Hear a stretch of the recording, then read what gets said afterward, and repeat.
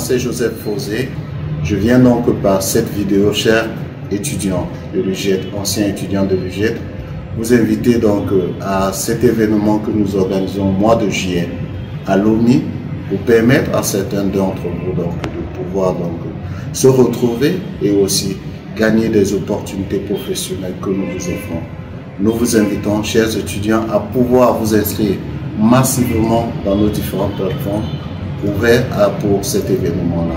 Nous vous prions donc, chers étudiants, à pouvoir vous mobiliser pour que cet événement soit une réussite.